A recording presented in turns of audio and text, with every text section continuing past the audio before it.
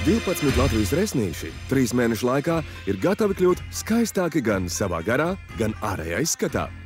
Tikai šajā šovā ar lielu gribas spēku un smagu darbu nomastais kilograms pārvēršas par 100 latiem.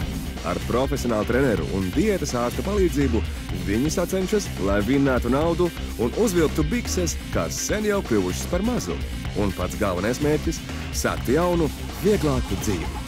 Kura komanda trīs mēnešu laikā nometīs lielāku svaru? Kurš no komandas dalībniekiem sasniegs labāko rezultātu? Un kurš saņems 100 latus par katru nomesto kilogramu? Tieviešanas šovs XXL jau septembrī. Krāsainajā pārsteiguma sezonā TV3.